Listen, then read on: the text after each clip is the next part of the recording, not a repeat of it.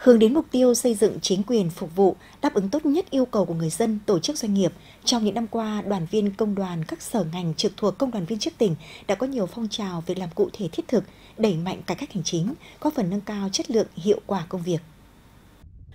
Trong đó, Công đoàn Cục Thuế đã tuyên truyền vận động đoàn viên tích cực góp ý hoàn thiện kế hoạch chi tiết về triển khai cải cách thủ tục hành chính thuế. Đến nay, 100% doanh nghiệp đang hoạt động thực hiện kê khai thuế qua mạng và trên 99,5% số tiền thuế được thực hiện nộp theo phương thức điện tử, góp phần giảm thời gian chi phí cho người nộp thuế và cơ quan thuế.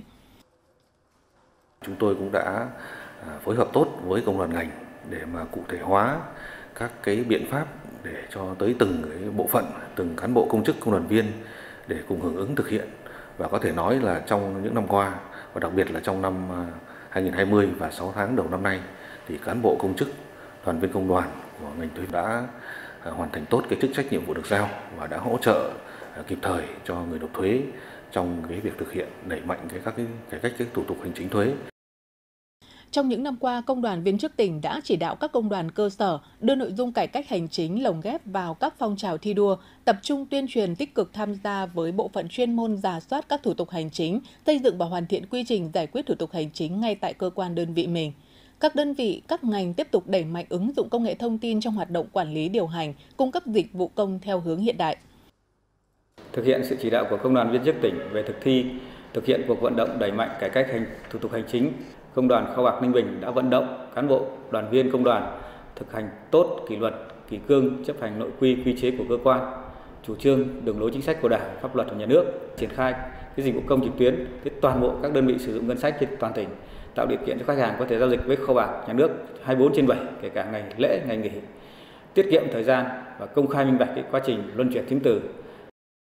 Bên cạnh đó, việc phát động các phong trào thi đua thực hiện chỉ thị 05 về đẩy mạnh học tập và làm theo tư tưởng đạo đức phong cách Hồ Chí Minh được các công đoàn cơ sở triển khai sâu rộng tại các cơ quan đơn vị. Điển hình như phong trào lao động giỏi, lao động sáng tạo, xây dựng cơ quan văn hóa và ngày làm việc 8 giờ chất lượng, hiệu quả, đã phát huy tính chủ động sáng tạo, cổ vũ được đoàn viên, cán bộ, công chức, viên chức hoàn thành xuất sắc công tác chuyên môn cũng như nhiệm vụ do tổ chức công đoàn giao.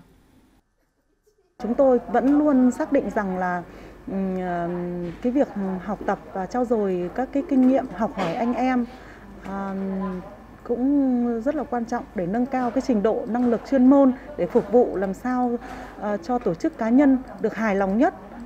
và đạt được kết quả nhất tận tình hướng dẫn để làm sao cho người dân có thể dễ hiểu nhất. Trong thời gian tới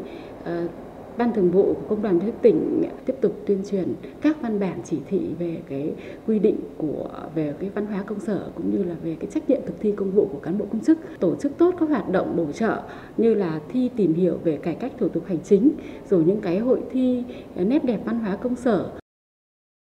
đoàn viên công đoàn viên chức tỉnh đã và đang từng ngày khẳng định vai trò nòng cốt của mình, nêu cao tinh thần trách nhiệm, tính chuyên nghiệp, giải quyết thủ tục hành chính nhanh gọn, chất lượng, hiệu quả, hướng tới sự hài lòng của tổ chức cá nhân, góp phần quan trọng vào thực hiện thắng lợi nhiệm vụ cải cách hành chính của tỉnh.